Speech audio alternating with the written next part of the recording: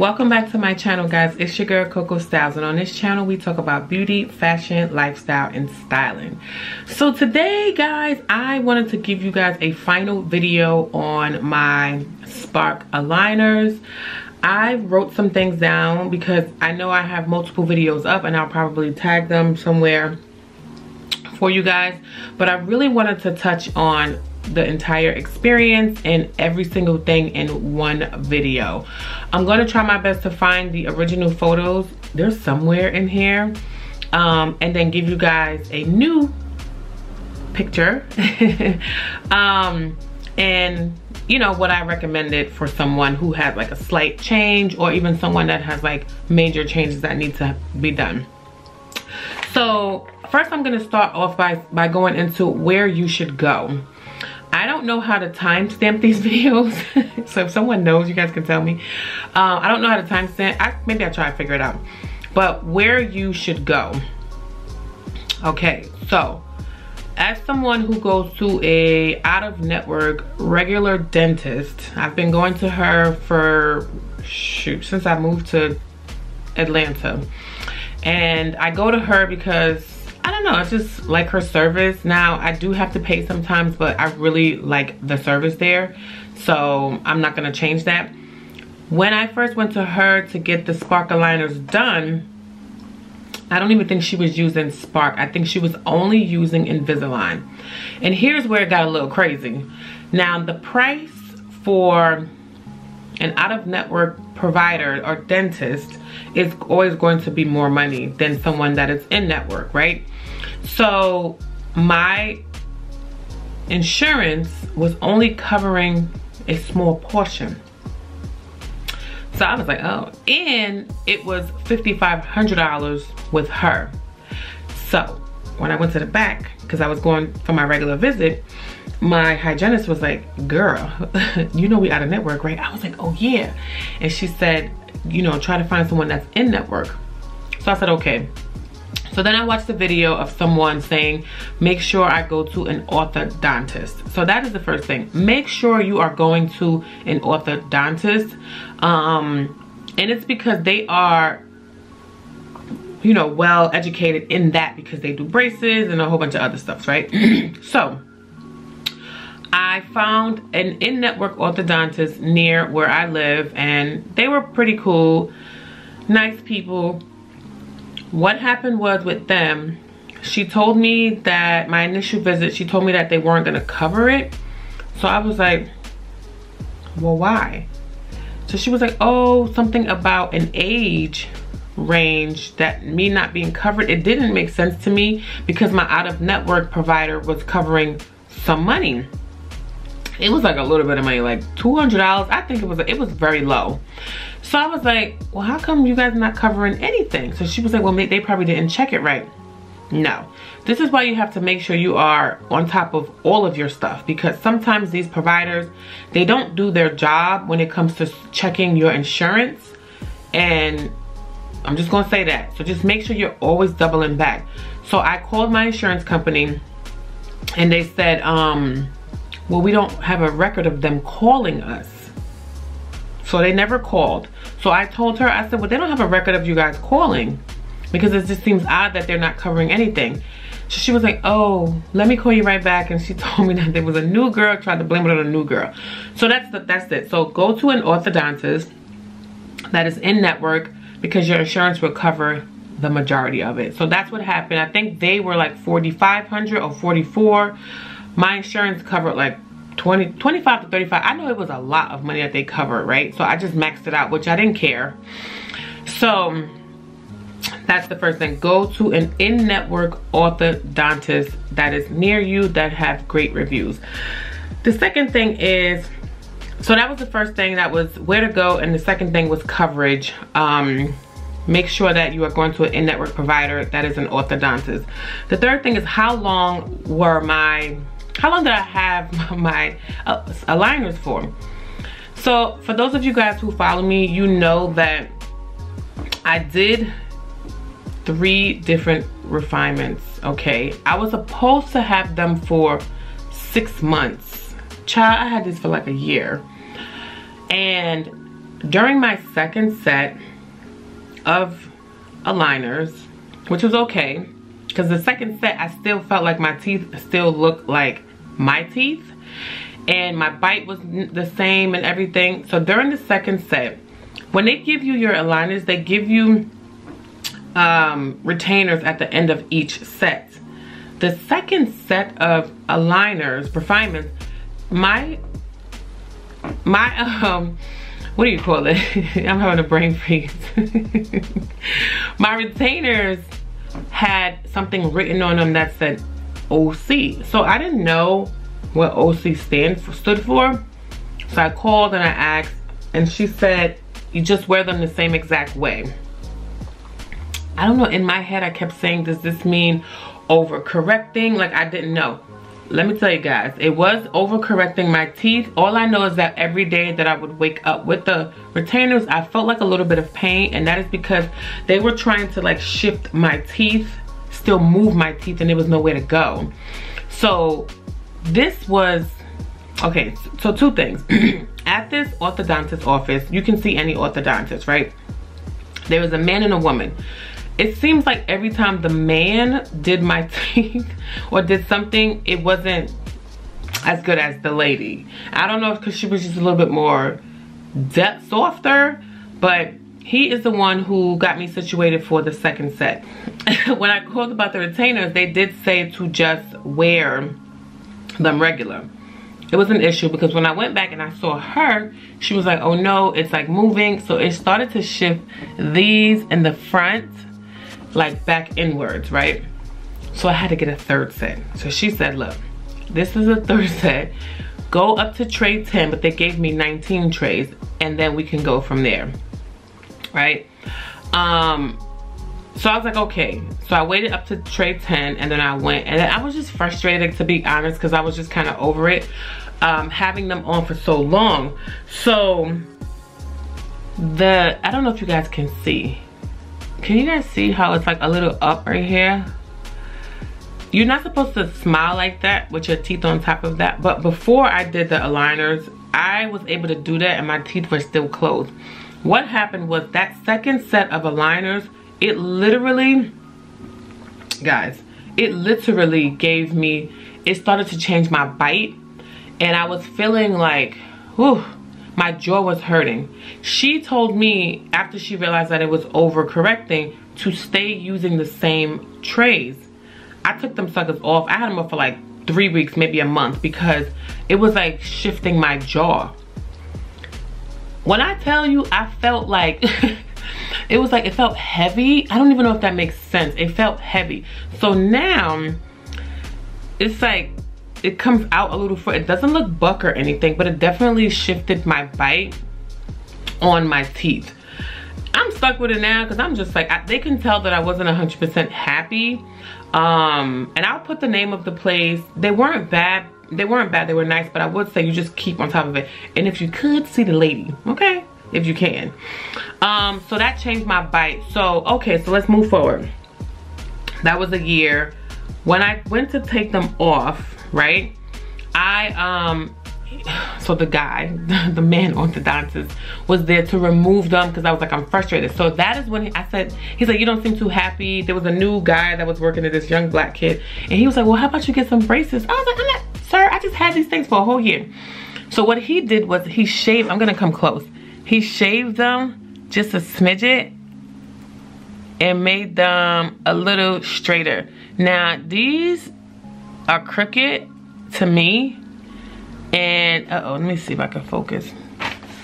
These were a little crooked. I, I don't even care anymore. Like, I don't even care. I'm just like, so, so okay, so he takes the buttons off and they, they shape me up for what I'm gonna talk about next are my retainers, my final retainers, right? So, they shape me up for my retainers and he cuts it, he cuts it down a little bit. He just shapes them and then he takes off the buttons. My dentist, my regular dentist said make sure they take off all of the glue from the buttons because they will leave some. Child, let me tell you something.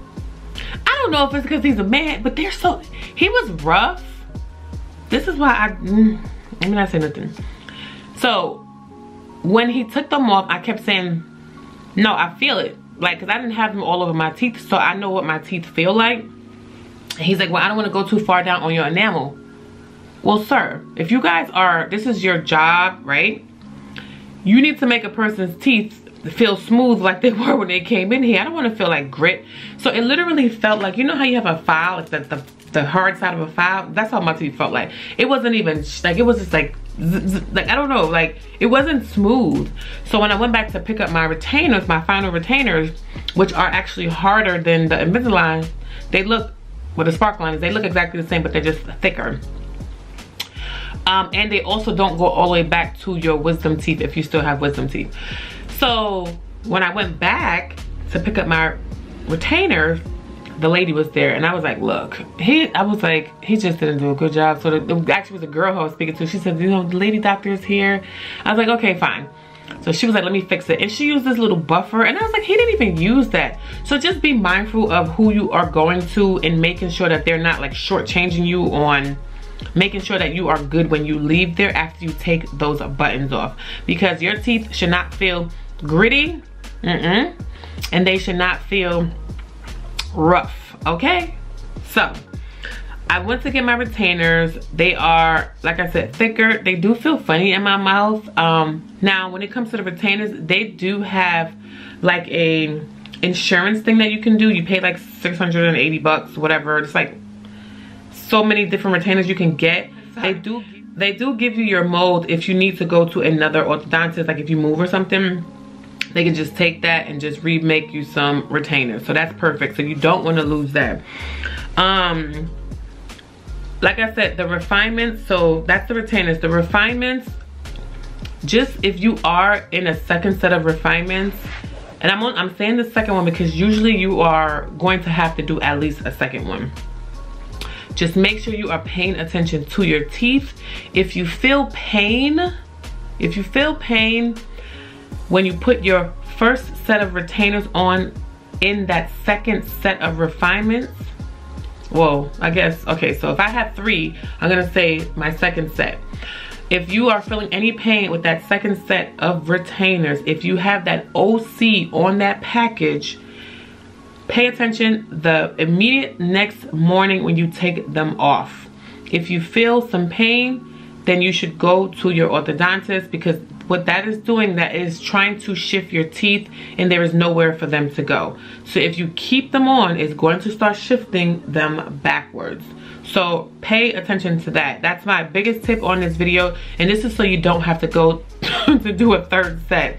So again once you have your second set of aligners right when you are done and you have to put on that second set of retainers from that second set in the morning of the next day, the morning of the next day, when you take them off, if you feel any tightness, or if your teeth feel like they're hurting, go to your orthodontist and then let them know that your retainers are hurting because they should not be hurting. All right, so I'm gonna try to type that into the, the, the description bar too because that's important just so you don't have to do a third time because honestly you'll be frustrated. Um, and let me see Okay, so I talked about the removal of the buttons and making sure that they do get all of the glue off. Make sure they are buffing your teeth, making sure that your teeth are smooth. Now, when you go back to pick up your retainers, if you feel like they did not get it all off, have them do it before you leave. And that's it, all right?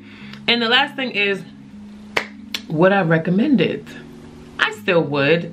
I would, I would just say follow these steps and making sure you are paying attention to your teeth. You do go to the orthodontist to get checked up. I don't think it's as much as a person with braces. Um, however, I do still recommend it. Just being cautious on that second set. And if your retainers say OC on them, it may be overcorrecting your teeth. Also, make sure you are going to an orthodontist.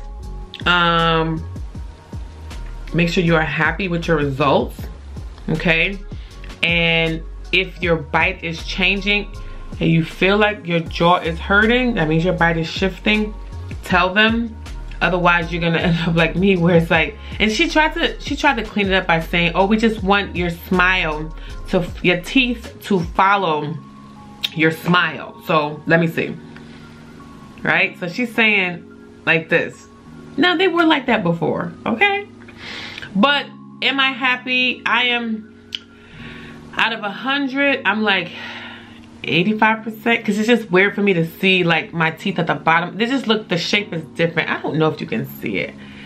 They just shaped a little different. But, I, you know, the top is straight. I'm going to come closer. You see how it looks like, I don't know.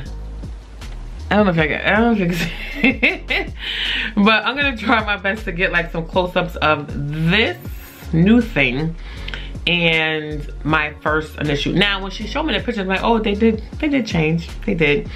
Um, where your, okay, so final thoughts, final advice, wear your align, wear your retainers, guys.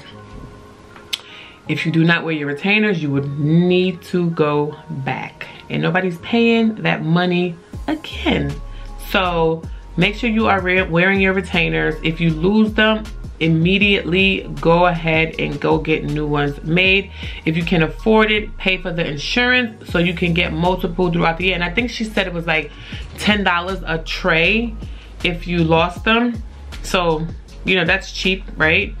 Um, and make sure you are not losing your molds. So that's just a breakdown, where to go, the coverage, how long I had them, um, the buttons, the retainers, the refinements, the removal of the buttons, and what I recommended. So let me know if you guys have any questions.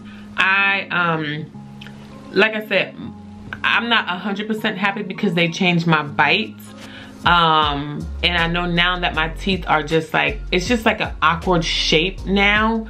Like, they just, I don't know. I don't know if you can see it, but it's just like an awkward shape. Um, but all in all, I'm glad that I did it. Um, I'm glad that it fixed this tooth over here. And this tooth was always like shaped a little different. Like I said, he did shave it. I'm just gonna come close. He did shave it. I'm looking up because, let me see. And the light is going in and out. This is my natural lighting. He did shave it. So this and this. So, I mean, I think it looks pretty good. Um, not perfect, but like I said, I don't want to get like veneers or anything like that because my teeth are still very strong. And that's important, guys. If you have really strong teeth um, and you just need a little bit of shifting, don't don't don't go get veneers. You don't you don't need it. Um, especially if you just have really good bone density on your teeth. There's no need to chop your teeth down and get ones put on over it. Um, if you do have like imperfections that you just hate completely, then I would say yeah. I would say yeah. But if you have like a little slight changing and a shifting that you need to do, I definitely recommend them. But again, following these tips when you are doing it. So that is it. If you have any questions on it, please comment below. Um, I can definitely break down a little bit more if you need to. And yeah, that's it. So if you stay to the end of this video, please comment Coco we see you. And guys, don't forget to follow me on Instagram at Coco Styles NYC and Coco Styles NY and my personal style blog, Coco Styles NYC and my style services, CocoStylesNY.com. And guys, I'm on Tickety Tickety Talk, Coco Styles NYC. And I will catch you guys in the next one. Bye guys.